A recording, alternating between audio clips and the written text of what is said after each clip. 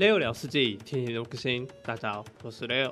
今天来看日本人对上保加利亚人这场比赛是世界沙漠锦标赛。那这场比赛应该是表演赛哈，因为这场比赛是单挑赛。那世界沙漠锦标赛呢，它是团体赛哈。那我们先来看一下这一把的对手哈，是尼可夫哦对上 Doubt，两位都是非常顶尖的世界知名的选手啊。而且这张地图呢，相当特别啊，像这个北极一样啊，北极圈啊，还有这个气啊。那我们看一些比赛赛事哦，这个地图的种类就有点不太一样哈。那生物的分布呢，中间是有两颗的哈，那上面也有啊，这里大概每个角落都有大概有一颗啊，这里还有一颗，而且生物的分布还蛮算，还算不是那么的平均吗？因为这个出生点位有关啊。好，那来看一下蓝色的啊，日本人尼可夫这边的文明是日本人。日本人的特色呢是他的伐木场采矿地模仿都是半价的啊，一开始省下这些木头就可以获得更好的经济优势，可以去按更多的渔船，哦，或者是可以让他更早的开下码头。所以日本人尼可夫这边的目标就是先五个人啊去吃肉。然后其他的村民去补到五个人伐木，然后先去下第一个码头。好，那这个村民盖完房子之后，就可以去来下码头了。那日本人呢，他的打法还是比较偏向于马弓或者是工兵、步兵路线。骑兵路线没有三级马凯，稍微弱了一点，但是城堡时代还是可以用，地用时代也 OK。那后期呢，它没有这个异端邪说，只是小问题。胜率部分还算是全面的哈。整体来说，日本人还是比较偏向于使用日本的攻速加成优势，会比较好打正面路线哈。那我们接下来看一下道特选择的文明是保加利亚人。保加利亚人特色呢是它的营垒是比较特殊的防御建筑物啊，造价大概是城堡的一半价格而已。因为可以产生保加利亚骑兵，那保加利亚骑兵呢是拥有两条生命值的这个特殊骑兵单位，啊，它的骑马板死掉之后会变成下马板，变成步兵模式哈，所以保加利亚骑兵算是一个很麻烦的骑兵单位。那保加利亚人他最大的问题是他的工兵不能升级哦，所以他的封建时代史哦。给的这个节奏影响力哦，一直以来都不是那么的够哈。因为封建没有工兵，自然就不用担心风转弓转骑士这种搭配组合。那保加利亚人呢，后期的步兵呢，它有这个协议双手剑兵，近战防御可以高达八点啊，防御非常坦，所以打日本人来说，或许可能会有点奇效哈。好，那我们可以看到日本人这边已经补下第一个码头了。那日本人呢？他也是世纪帝国里面捕鱼速度最快的文明啊！最近这个沙西米哈风靡全世界，这个沙西米是真的真的啊很快的哈。好，那这个沙西米开始捕了，可以看到日本人这边已经要来准备升时代了。这样肉够吗？感觉要再端一村吗？收个肉哦，可以哇，很极限。好，两边的配置都是有。精心研究过的啊，好，那这边也是升到了封建时代。好，这里是后面捕鱼，然后这里是决定在内圈捕，捕了一个夜市渔港。那由于这是北极圈的关系，所以这个村民啊，或者是伺候单位哦，都可以在这个冰上面奔跑啊，直接在这个冰湖上面奔跑，所以这些渔船在中间哦，其实有点蛮有点危险啊。很容易被对方的斥候围攻啊，所以日本人这边前面上面封建时代一定要安个火战船啊，先安个火战船防守啊。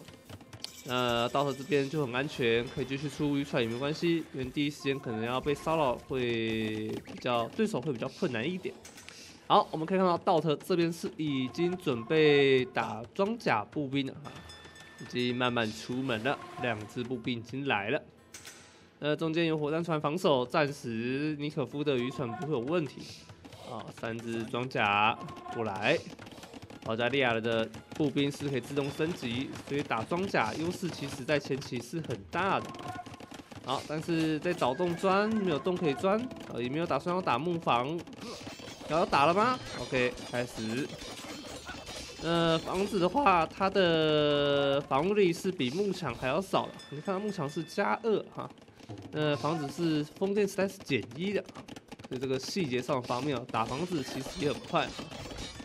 好，那我们来看幕墙这边应该是打不过，应该就是被拖到世界场出来，应该就没救。好，看一下后面这里，后面这一波火战船被拉打，哇，这个企鹅在叫是不是？叫得很开心啊啊！好，这边只哎，这只村民要小心了，这里炸被抽掉了一艘渔船，火战船再出来一艘。那这边枪兵戳战船伤害很高哦，所以要要小心，不要被枪兵给戳到。哇，看戳一下十二滴血，这个枪枪戳船很痛的。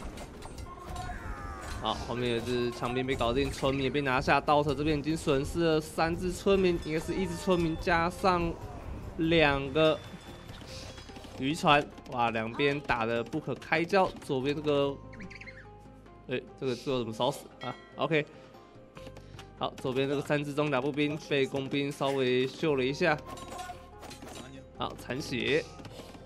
好，这波骚扰最后是由尼可夫拿到优势上的这个胜利哈。好，枪兵最后是全部搞定了。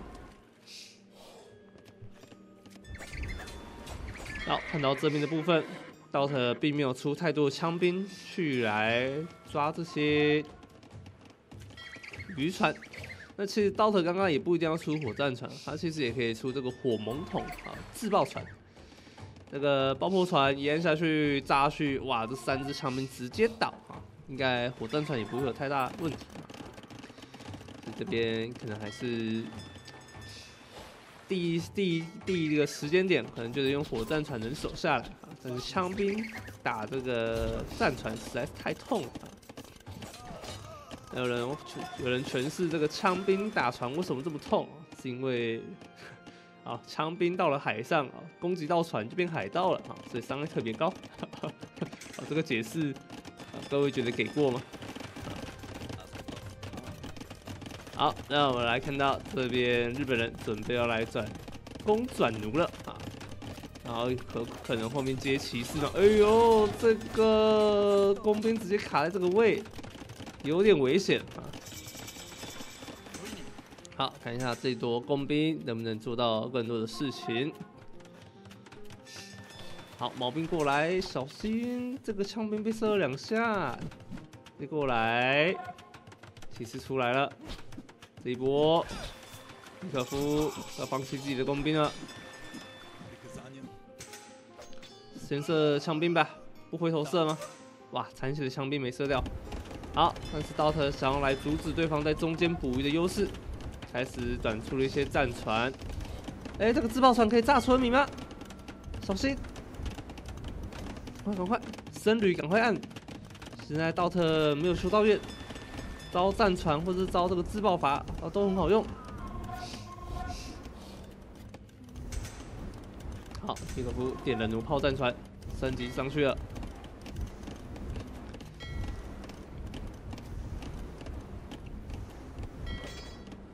好，战船路线比较少了一些些，哎，要小心！哇，炸一下，炸个火箭船！哇，直接炸了半血，这个码头很炸裂。好，但是道特好像快要把海战给拿回来了。这波海战残血六滴，能烧掉吗？可以，自爆船来炸一下，漂亮。但是好像不是那么漂亮，好像只炸到了一烧，是不是啊？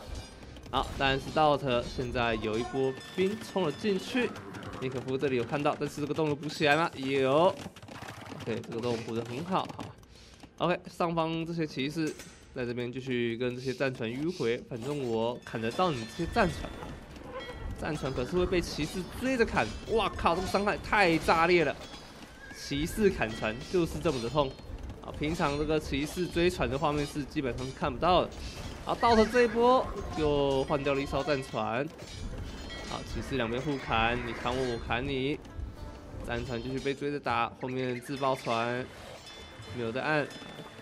火弹船在后面，僧侣出来招降一下。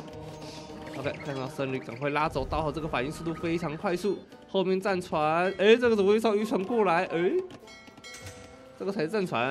哎，刚想说这个战船哪时候包过来的？结果是渔船啊！渔船跑到人家门口捕鱼啊，共享渔业资源啊。好，尼可夫这边点下了枪兵的升级。这里大枪兵升级后，防守就会轻松一些，而且日本的枪兵攻击速度之快，所以我觉得有攻速加成的文明啊，通常都是那个，哦，这个企鹅会咬人，啊，气也生气了，气也对决，一滴，完了完了，动保要生气了，完蛋了，我会被被动保检举，啊，要要被黄标了，动动表，动。把企鹅全部倒地，好，那这边枪兵一直戳，哇，戳掉非常多的 DOT 的马。那这一把的文明对决也也算是步兵攻速最快的文明对决，骑兵攻速最快的文明啊。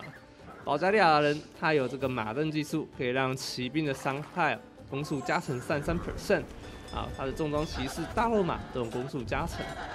那日本则是所有的步兵都有攻速加成，哎，那个企鹅真是来撸小嘞，好撸啊，一直在撸啊。OK，那我们回到海战部分，好像搞登陆，呃，这个爆破船要炸了吗？没有办法，这个不能炸，这个炸了有点亏。好，拉回去。OK OK，现在两边战况比较焦灼的部分是海战的部分，DOT 一直没有取得优势，但炸一波就不同了，漂亮！这一炸之后又赚烂。OK，刚刚说没优势，现在突然有了啊，优势突然出现了啊，突然出现了。OK，现在这两只战船可能都要被招抢走了，这个是夜市渔港，战船没地方逃啊。僧侣在这边载制力太强，所以道特这里不出僧侣，让我有点纳闷啊。有出僧侣的话，优势是非常巨大的。毕竟免费的一艘战船啊，免费的战船可以招。哎呦，这个直接炸出来。好，道特这边直接往上拉，这边是想要升个城堡吗？还是要盖 TC，但是应该是盖堡才对。他想要找个风水宝地敲一下城堡，这枪兵已经过来。枪兵追着村民，知道你想要搞点事情。完蛋了，完蛋！了！尼可夫已经看到，但是有机会可以阻止吗？骑士马弓继续按。好，这边直接用骑士去抓重装长枪兵，重装长枪兵直接全部惨死，因为这边枪兵血量已经百分之不多。好，但这边马弓已经阻止道特过来，道特已经塌下第一根银垒。决定控在这个石头矿啊，控你的图先，我有骑士护驾。道特现在这面的码头已经决定要放弃了，海战打不赢，我们就鬼转陆战啊。然后这里直接起一根宝，想要把道特这个营垒给敲掉。这里再敲一根，漂亮。但是这根敲一根可能会来不及，对方城堡可能会起的比较快一点。基本上这里刀特是没有任何的优势，这根敲下去也不会有很好的一个结果。两个鹰垒剩一根城堡，好像的，可能会有点炸裂啊。好，好，保加利亚骑兵被招降掉。好，OK，哇，这一只村民两只，僧侣再一个，哇。三个僧侣，好，然后村民可以放进去城堡一类里面，再放出来，偷走掉，啊，啊，没问题，好，那现在这两个营垒继续生插，好，后面盖了工程机制造所，也可以转个冲车，这里要放自爆兵吗？放自爆兵，这个炸药桶，炸药桶，好，把这个村民放进去，营垒现在是三个是十加二。城堡是十一加一，现在刀特这一波骑兵冲进去，尼可夫家里一团大乱，但是尼可夫也没有放弃骚扰的机会，派了一些兵在上面。好，这边骑士会被遭到吗？没有办法遭到，直接被砍死。好，营垒越来越多了，尼可夫开始出现了大量死伤，这波骑士冲进去砍了非常多的村民。尼可夫现在城隍内一片混乱，拉了一堆僧侣回防。好，那现在回防结果是，现在尼可夫还是守住啊，银磊一直插进来，直接插你满脸。三个哦，四个银磊来了，而且这里还开始转装甲冲车，但里面早就已经有所准备。待会村民可以放出来，但是这里放出来能够顺利解掉这根冲车吗？好，这边冲车偷偷在顶，后面补下了一个 TC。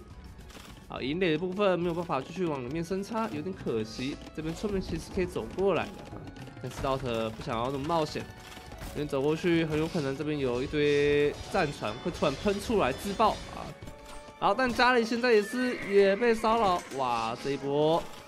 尼可夫来了一个回马枪啊！我本来要撤退了，突然回来别你啊！突然撤退了。OK，那现在四个鹰类继续给到很大的压力，这个冲车很快就能顶掉了。好，头车出来防守。好，一直往前拉，想要去顶顶看，但是没机会。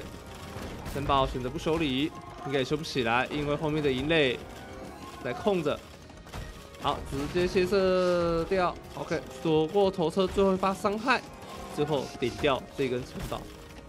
好，结果左边的骑士六只招降，直接全低，还好一只骑士都没被被招，但是损失了这么多的骑士，让刀客的进攻会受到阻碍了。好，城堡拿下之后，现在开始在顶其他地方。那现在。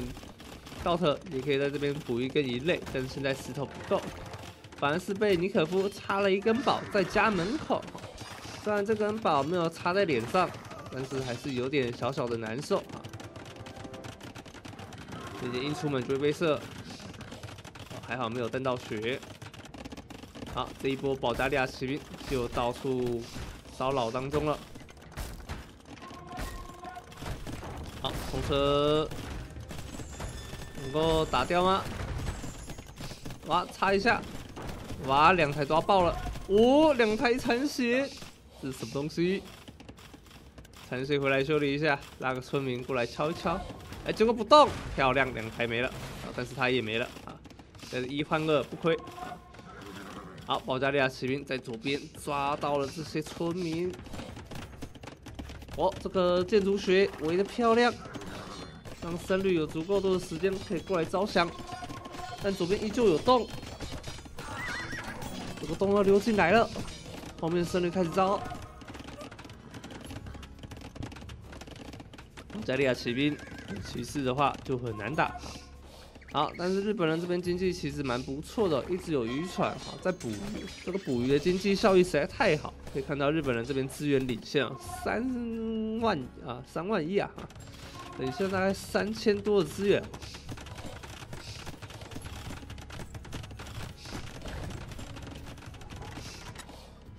好，那现在渔船非常多，十八艘，那稻草是只有五艘。好，这个渔船的数量真是天差地远的差距。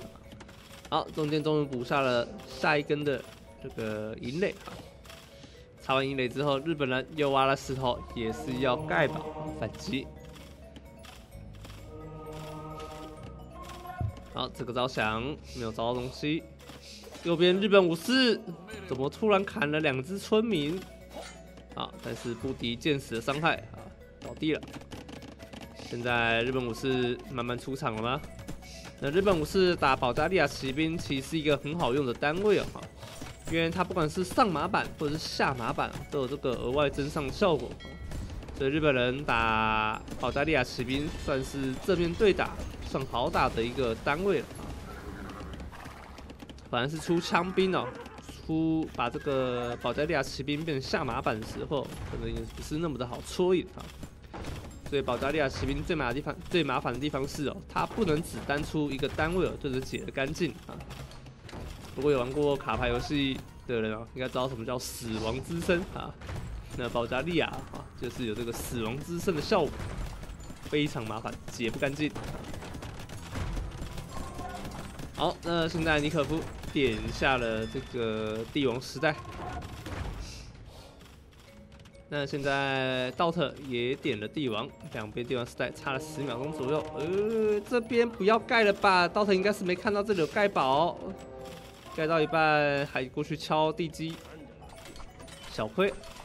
好，但这一波道特还算是有有收获啊，有收获但不多，因为这边经济没有受到明显的受伤。日本人这边的捕鱼效率实在是太舒服了啊，不种田也没关系啊。但是其实还是有中哈。好，现在点下了步兵铠甲手推车，尼可夫稍微把自己的经济控好，待会帝王时代以上，到时这边的防线就会有问题了哈。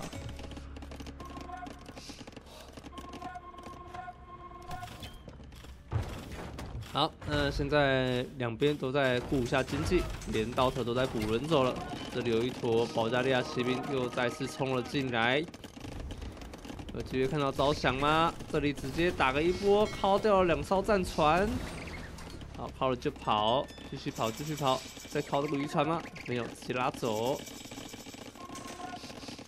好，绕了一圈，看一下这里，直接压宝，帝王时代以上，按了两台巨型头 C。道特则是没有城堡的关系，赶快补一根宝才可以按巨头。道特肯定是忘记了自己没有城堡这件事情，全是银垒啊。OK，这一波成功挡住，大枪兵也防守好了。圣女在后面，终于追了过来，来招降，招到了一只、两只。好，但是其他的圣女都已经在进入发呆的状态。哦，又招到了一只，尼可夫这边运气不错，遭到了三只保加利亚骑兵。后面还有一只残血的保加利亚骑兵，有没有拿下？啊不不，这个这个圣女圣女圣女。三 D 胜率没有看到，道特这边有点尴尬，但是家里巨头已经开始在攻城了。好，这一坨兵也没有很好的去骚扰到。现在保加利亚骑兵疯狂打渔船，看可不可以把渔船打少一点。不然你的经济真的是太好了，好过头了。好，继续敲敲这些战船，伤害真是太高了。好，但是保加利亚骑兵还没有点马镫，伤害还不是到最顶的状态啊。好，这一波保加利亚骑兵就要冲了吗？先抓掉上面这台巨型头 C 会比较好。这边还在控，还在控，下面的枪兵也在骚扰当中。这个营垒准备没了。这波尼可夫慢慢打出了自己的优势，刀特反而是有点焦头烂额，一直有太多地方要打，防守部分也开始要开始注重起来。家里一台巨型投石机都没有。那尼可夫这边的两台巨型投石机其实可以拉很大量的保加利亚骑兵过来解决就可以了。好，那这边就要来看一下，道特要不要拉保加利亚骑兵过来解决？但这边渔船抓的漂亮，直接抓了六台渔渔渔船呢！我靠，这个渔船死的有够快。好，现在中间的夜市渔港清理的差不多了，中间的大战已经搞定了，现在只剩下外围的这个北极圈。的鱼还没有办法去控制下来。好，后面两边城堡都在互砸，这个城堡要拿下了，没问题，这一发就可以拿下。哎呀，拆除成功。好，但是到手家里的问题开始守不住了，日本武士跟枪兵疯狂冲锋了，又在搓又在搓，完蛋了完蛋了，日本武士已经开始拿刀开砍了。萨姆拉伊。这个萨姆拉伊真是有点麻烦。好，那现在枪兵已经成功量产起来，城堡掉了，所以这边可以赶快用枪兵戳掉巨型头 C。后面还有三个银雷。好，到头这边补下了拇指环，要来转马弓。保加利亚人走马弓路线也是 OK 的，虽然没有任何的特殊能力，但是他的走向算是可以正常使用的啊。三攻三防都有，三道血，然后点下去。好，巨型投石要来了，这里马弓转的比较慢一点。好，但至少现在有马弓，打日本武士比较好打了。但是要疯狂的往后拉打，非常吃手速的一个操作。好，巨型投 C，，这边要小心，不要被戳到。哇，被戳到了一匹马。保加利亚骑兵回救，这一波防守没问题，但是后面的两台巨头没有办法去拆除。这一波还是要拉回来。道特已经开始全面放弃上面的营垒。好，这一台冲车里面有载六个小弟啊！啊，小弟在疯狂冲车当中。好，直接拿下两台巨头，巨头全拿掉了哈。好，现在十六只马弓。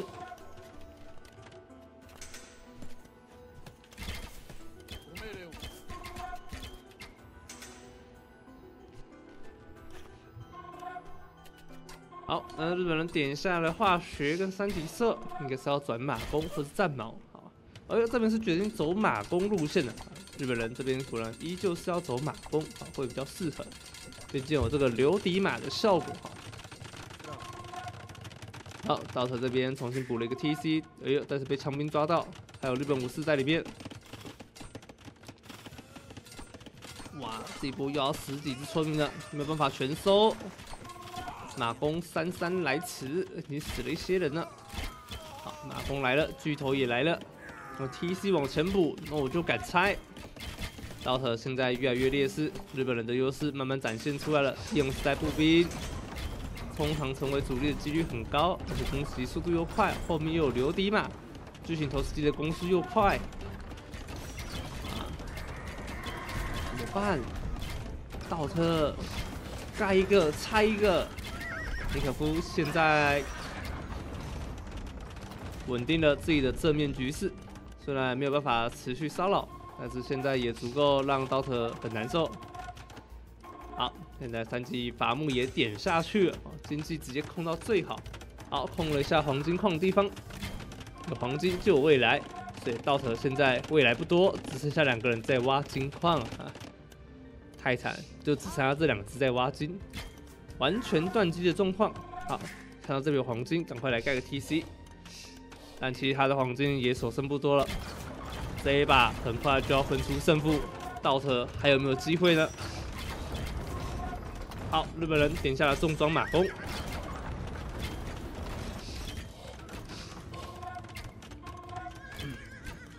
好，加利亚骑兵现在从左边丢了过去，两边马弓对射。日本人这边稍微劣势，右边的数量不够多。好，这两只村民还在这里。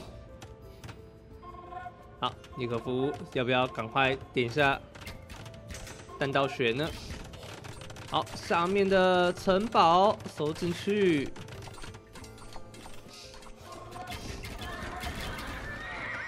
好，战矛兵点下。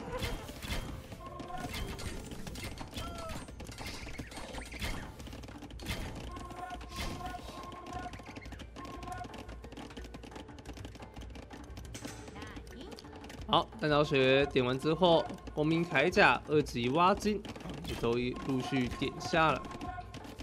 现在尼可夫只要续一波三巨头或四巨头，就可以瞬间拿下道特这边的上面的军事了。这里只要一拿下，应该就要投降了。下面这个黄金也没了，直接被插宝插烂，道特被控金控到生活无法自理了。好。这边过来，想要来敲村民。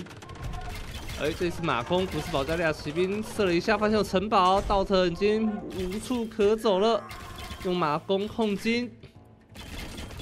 正面的战矛兵想要守住，但是巨型投石机继续攻城当中。这一波道特不打到底，不甘心，一定要打到底。也不是不甘心吧，啊，可能是表演赛的关系。不能擅擅自投降啊！不能这样随意的就放弃啊！好，那现在冲车来了，日本人的三级工兵铠甲啊下了。现在这一波马弓一直在拉扯。好，正面的马弓骑兵来了，这一波是倒车的最后一波，能够拿下吗？来看一下这一波。马弓往前点，但是前面的保加利亚骑兵是专心拆巨型投石机，但是好像没有拆掉。下马版的保加利亚骑兵在这边继续反击枪兵，就是收掉了两台巨型投石机。日本人短出了一些斥候，但是还没升级新骑兵，怎么会有黑暗斥候出来打仗呢？啊，五加一，啊，打得不错。OK，但是现在战矛兵也快要扛不住，现在落马数量也越来越多，马弓在后面反击这些落马也是花了一些时间。现在马弓数量已经没有办法成型，刀头的战矛兵很努力的在按。这一波交战应该是由尼可夫还是获得最后的胜利。轻骑兵这时候飒爽变身，哎呀，轻骑兵来了，现在马弓越来越难打了。哎呀，结果道特把尼可夫打到退了吗？这这是什么奇怪的画面？哎哎，怎么怎么会打输呢？战矛兵好像有点太多。好，有马凯，待会再继续上。好，道特这边也点下了新骑兵，但是但是最重要的科技一直没有点下。这个马登到底有没有机会点呢？好，休息时间来到了一小时了。奥特还没有要放弃，这边马弓又冲了进来，家里有战矛兵防守，但左边这一坨战矛被控，右边这一坨马弓在偷村民，正面的骑兵直接冲破防线，抓掉了非常多的战矛。哇，村民溜到了后方，看你后方到底还有多少经济，我的不投。哇，终于抓到后边的企鹅，我企鹅助攻。好，这里再补一个鹰类，尝试把红字给夺回来。道特这一波真的是没放弃，他真的觉得他自己有机会。哇，这一波道特有可能很关键，但是这里怎么办呢？家里的马弓、战矛兵还来不及过来支援，死的死，残的残了，经济越来越差。尼可夫虽然经济也没有到非常好，但算是正常的，库存资源。还是比道特多了很多。好，看一下这里，战矛兵拿下巨型偷袭，漂亮。后面这一波打架，平磊成功手下，黄金就有机会了吗？好，这一波马弓不演了，直接大狩猎，狩猎开始了，哇！这一坨马弓已经击杀六十三个单位，二十八个村民都已经倒下。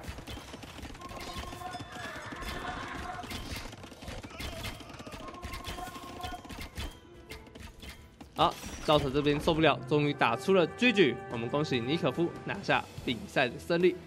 我们来看一下经济的部分，经济的部分最后是由尼可夫拿到资源上的胜利啊，赢了大约快要三万经济啊。这也是保加利亚人最大的问题哦经济一直都很差没有任何的经济加成是他的致命伤哦。好了那么今天影片就差不多到这了那如果喜欢这部影片请记得帮下订阅我们下次再见喽各位拜拜。